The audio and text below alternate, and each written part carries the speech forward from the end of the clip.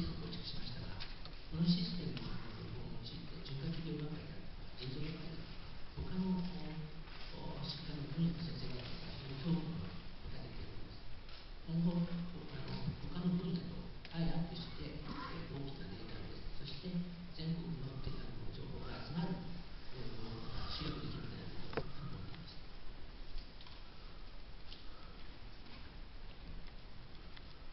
えー、私どもの研究班